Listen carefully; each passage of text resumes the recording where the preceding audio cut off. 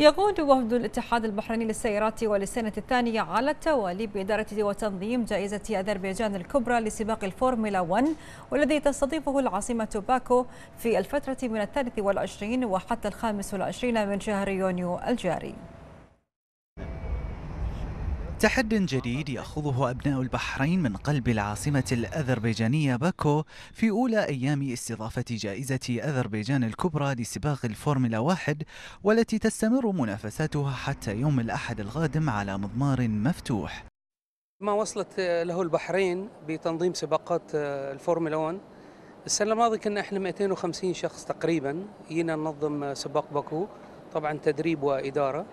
السنة حسب العقد اللي بيننا وبينهم آه، العدد اللي المفروض يكون 100 شخص.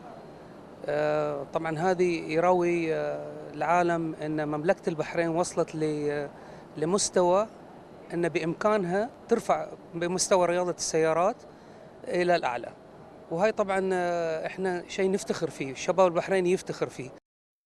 استعدادات اتحاد السيارات لتنظيم هذا الحدث الرياضي الضخم بدأت منذ العام الماضي من خلال ترغيب وتأهيل منظمي السباق في السباقات الدولية والعالمية التي أقيمت بالمملكة حيث يبذل الشباب البحريني جهودا جبارة في تنظيم وإدارة أكبر سباق عالمي من خلال الخبرة الواسعة التي يمتلكها أبناء البحرين في هذا المجال.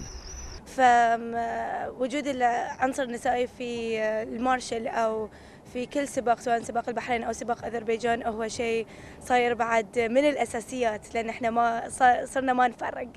فأول شيء وجود العنصر النسائي أو وجودي أنا هو فخر لي إن أنا رافعه اسم ديرتي لكن في نفس الوقت إن إحنا غير إن إحنا رافعين اسم ديرتنا إحنا قاعدين نساعد العنصر أو الأعضاء الأذربيجانيين إن إحنا نرفع اسم ديرتهم بعد في إنجاح السباق إن شاء الله.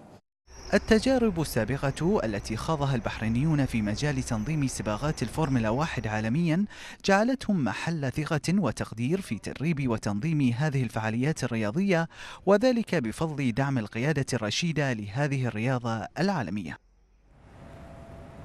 وحول هذا الموضوع معنا عبر الهاتف الأستاذ عبد العزيز الذواري مساعد رئيس سباق الفورمولا 2 مساء الخير أستاذ عبد العزيز بداية ما هي ما هي أهمية هذا السباق؟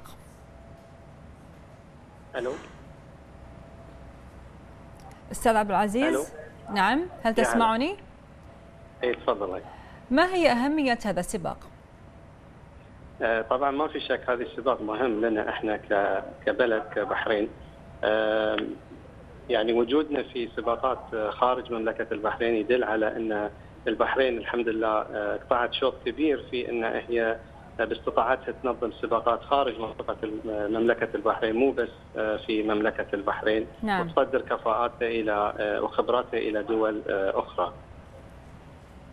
طيب ما هي أهم الاستعدادات لاقامه هذا السباق العالمي؟